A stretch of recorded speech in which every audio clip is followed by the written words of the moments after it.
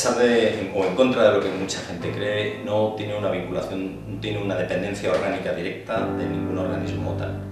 El TLP es una especie de club privado de diversas naciones que han decidido poner todos sus medios juntos, invertir eh, ciertos medios para poder proporcionar el mejor entrenamiento a sus pilotos. De manera que el TLP no pertenece a la OTAN ni está integrado tampoco dentro de la estructura orgánica de ninguna de las fuerzas aéreas que participan. Es un club privado que ha establecido sus reglas a través de un Memorandum of Understanding que define exactamente la forma en que se debe operar.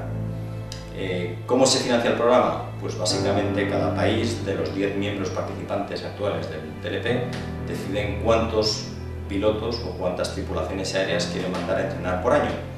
de manera que eso se traduce en un tanto por ciento del programa y ese tanto por ciento es lo que cada eh, ejército del aire o cada fuerza aérea tiene que sufragar del presupuesto total del TLP. Por supuesto que aunque haya países que, que aportan más que otros, la regla básica es que todas las decisiones dentro del TLP se toman por consenso, de manera que no hay posibilidad de que se haga algo que haya algún país que no le guste.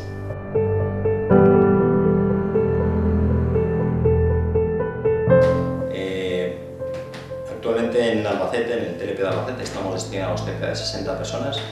Hay aproximadamente 5 o 6 civiles el resto son militares de los distintos países, de 10 países. Españoles estamos 14 y el resto, prácticamente 40, 50, eh, son extranjeros. Aparte de eso, para cada curso de vuelo, pues vienen como media 24 aviones caza, pero en total con todos los aviones que participan de otros, de otros tipos, helicópteros, aviones de transporte, etc., participan por curso casi cerca de 40 aviones. Eso significa que todo el material eh, y todo el personal que tienen que traer aquí, que cada curso de vuelo, más de 400 personas pasan por la base aérea de Albacete, por las instalaciones del TLP para estar prácticamente un mes.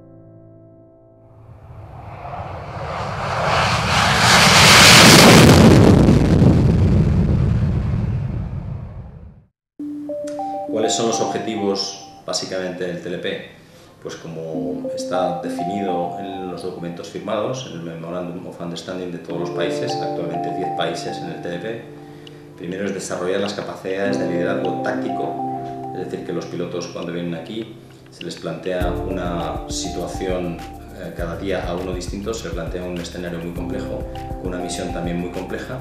y se le encarga que lleve a cabo la coordinación del planeamiento de toda esa misión. Eso requiere, aparte de, por supuesto, unos grandes conocimientos técnicos que se le supone que tiene, puesto que es un piloto y experto cuando viene aquí,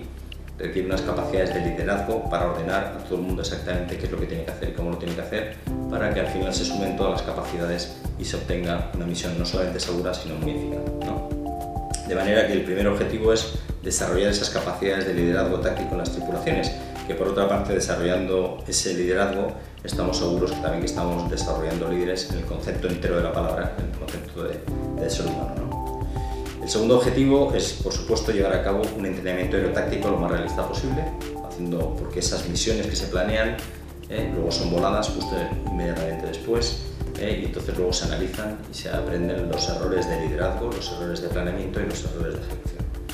Y además el TLP también tiene una parte muy importante y es pues, mantener actualizada la doctrina de la OTAN. Tenemos una estrechísima relación con la OTAN y aquí enseñamos en los cursos teóricos la doctrina